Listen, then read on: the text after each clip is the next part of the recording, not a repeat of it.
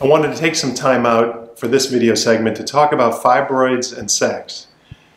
It's a topic that is one of the most commonly searched topics on our website, and so I wanted to take some time and to look into that topic.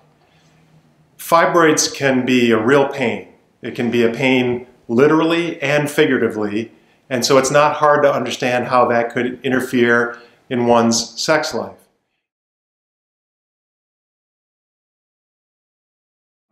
Fibroids are very hard and firm tumors, and they can enlarge a woman's abdomen, making her look like a pregnant woman. An enlarged uterus, looking pregnant, can often affect a woman psychologically such that she feels um, less attractive and has a low self-esteem um, looking pregnant.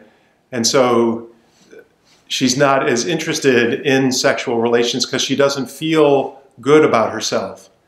She can also feel weak and tired and fatigued from the anemia that the fibroids cause. A lot of women with fibroids have heavy menstrual periods, which can lead to anemia, a deficit of iron and hemoglobin. And this causes fatigue and weakness and being tired. And let's face it, sex is exercise. Okay, we've talked about what happens with fibroids and how they can affect your sex life. But what can I do about it?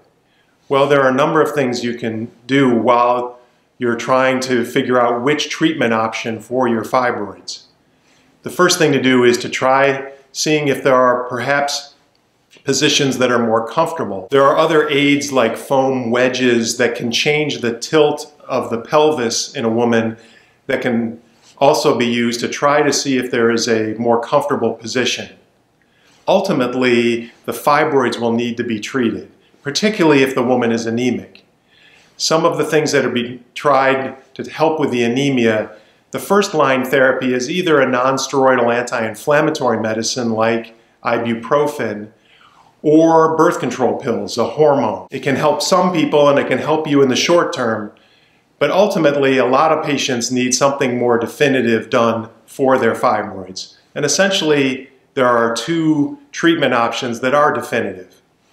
You can have surgery. Surgery is an option, either surgically trying to get out some of the fibroids, called a myomectomy, or surgically removing the uterus, a hysterectomy. The other treatment option, which is non-surgical, is the uterine fibroid embolization procedure. It's completely non-surgical, performed as an outpatient. It treats every fibroid in the uterus. Without a blood supply, the fibroids will soften and shrink, and as they do, a woman's symptoms will start to disappear. Once the fibroids are treated with UFE, the anemia will start to go away as the periods get lighter and lighter the hemoglobin and iron levels rise and she will no longer be anemic. Similarly, as the fibroids are softening and shrinking, her uterus is getting smaller, and so the pregnant looking uterus goes away.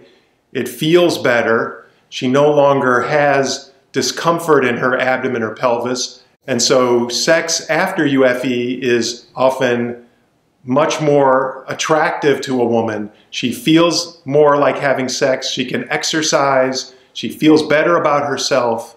Uh, and so um, this takes care of those concerns that she had previously. Oftentimes, sex is no longer painful.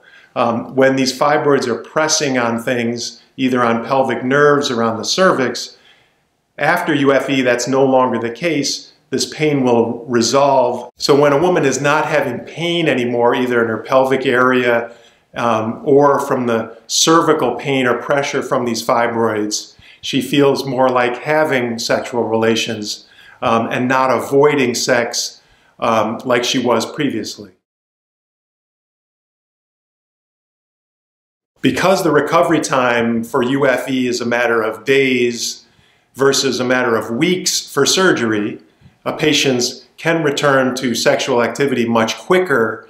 Uh, and so um, you can resume normal activities much quicker with UFE than with the corresponding surgical options. If you like this video, please subscribe to our channel and share this video with your friends and family.